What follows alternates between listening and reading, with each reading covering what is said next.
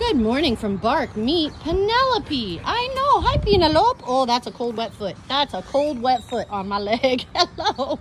As you can tell, it is uh, rainy and muddy and nasty out here today, but we're still having fun with some puppies. And this is gorgeous Penelope or Penelope if you want to get funky with it. No, it's Penelope. I'm just kidding. Uh, guys, this is a gorgeous husky. Oh, did we drop it? No, you got it. No, you dropped it. It's right here.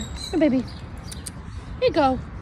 There you go. Good girl. Guys, look at this eye. Look at these eyes. They're like marble almost. Blue with some brown in there, just marbleized. Oh, gorgeous. This sweet, sweet girl uh, came in pregnant. She was spayed. We did not keep the puppies. Uh, no comments there. I'm not even going to say it. Three years old. Um, she is heartworm negative, which is awesome. She's 59 pounds, 58 pounds. Uh, she's in great shape, absolutely stunning. Doesn't need to lose or gain any weight. She's really perfect, quite honestly. Um, and she's friendly as can be. Hello, what are we doing?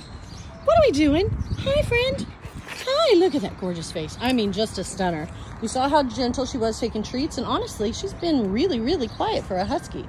Really calm for a husky, too. Look at that gorgeous tail. Hi, pretty girl. Hi. Are you trying to find your way out now? She said, I'm over it. I'm going to go back inside.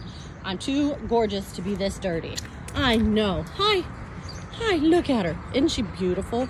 Come check her out. She is Penelope at BARC. Ready to go home today. Already spayed, heartworm negative. She's all yours. Come get her. Penelope at BARC.